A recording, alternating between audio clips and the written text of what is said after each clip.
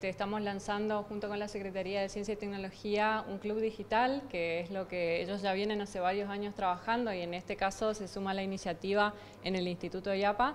como para comenzar a acercarse a conceptos este, de robótica, tecnología y programación, tanto para nuestros usuarios del instituto como para el público en general de jóvenes que estén en la zona y que quieran acercarse a, a compartir este club, son bienvenidos.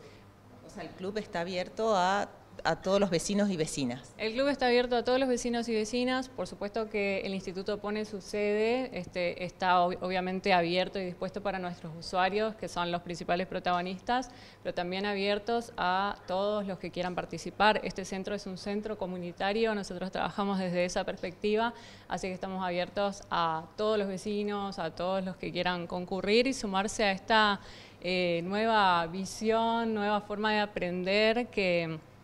justamente estábamos hablando recién con los instructores, es buenísima para un montón de logros a nivel cognitivo, a nivel social y por qué no también para pensar en futuros oficios, en, futuros, este, en futuras carreras o que brinda nuestra provincia también en el polo científico, en la Universidad Provincial de la Una Blanca. Tenemos una gran disposición y, una, y un gran compromiso para construir futuro, futuro nuestros jóvenes.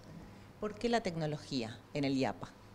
Porque veníamos con muchísimas ofertas que tienen que ver con oficios y con capacitaciones, pero creemos que nos hacía falta, como todo, evolucionar. Justamente la semana pasada estábamos capacitando a nuestro personal en nuevos paradigmas de atención en consumo problemático y como todo avanza, la sociedad avanza, la tecnología avanza y la necesidad de que nuestros usuarios y nuestra sociedad en general avancen conocimiento respecto a la tecnología, la robótica, la programación, nos parece de suma importancia. Y por supuesto teniendo en cuenta que este modelo formoseño justamente nos incluye a todos, creo que poder estar acá hoy con esta posibilidad es un gran acto de justicia social, poder llegar a todos con esta posibilidad, poder no solamente tener estos clubes, sino tener después la disposición de poder comenzar carreras este, superiores, universitarias, que les permitan a nuestros usuarios y a todos este, lograr objetivos de vida muy, muy, muy prósperos y muy amplios.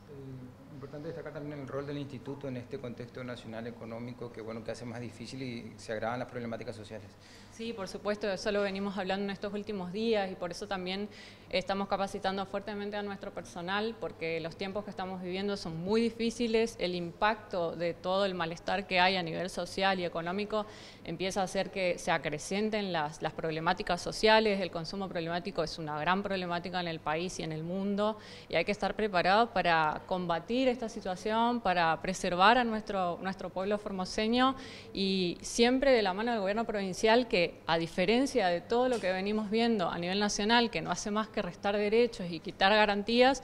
eh, nosotros seguimos sumando posibilidades, seguimos ampliando derechos, garantizamos la atención gratuita, como siempre lo decimos, en todos sus niveles y además brindando este tipo de posibilidades que solamente lo veo acá en Formosa, no lo veo en ninguna otra provincia del país.